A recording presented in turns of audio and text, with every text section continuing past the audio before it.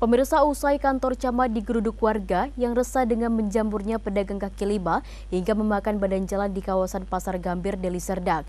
Petugas Satpol PP langsung melakukan penertiban.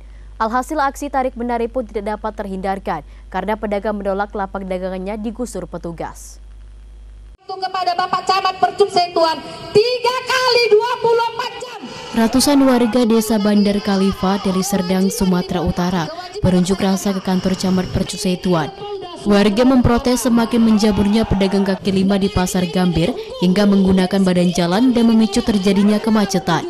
Usai mendengarkan aspirasi para pengunjuk rasa, petugas gabungan Kecamatan Parcusetuan dan Satpol PP Pabong Praja dari Serdang pun langsung melakukan penertiban.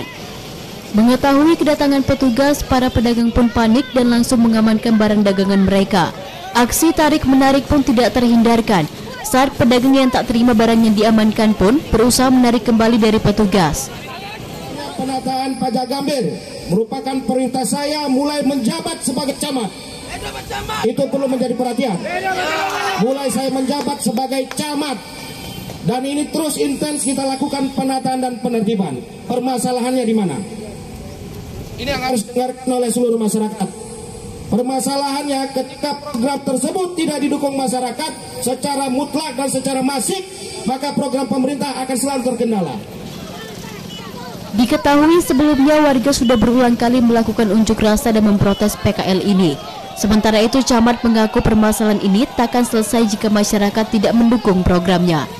Dari Deli Serdang, Ahmad Ridwan Nasution, iNews melaporkan.